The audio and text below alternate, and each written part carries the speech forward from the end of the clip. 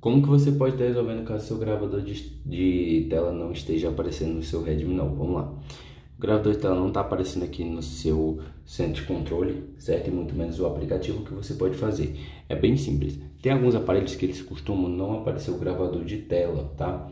E também tem a opção de muitas vezes quando você atualiza seu aparelho possa vir é, com atualização um pouco diferente, que pode ocorrer com que o centro de controle, né? Retire o gravador de tela, mas não é, não de vez. Você pode estar adicionando novamente. Eu vou mostrar esse processo para vocês agora, tá? O que você vai procurar tá fazendo, pessoal? É um processo bem simples. Primeiramente, você vem, acessa seu centro de controle. Acessou o seu centro de controle, você vem, clica nesse lapisinho. Clicando no lápis vai aparecer aqui os seletores disponíveis e um deles é o gravador de tela. Você pega e clica nesse mais um, mandando o gravador de tela para cá. Aí você pode arrastar e estar tá posicionando ele da melhor forma possível para você. Eu costumo colocar ele lá em cima.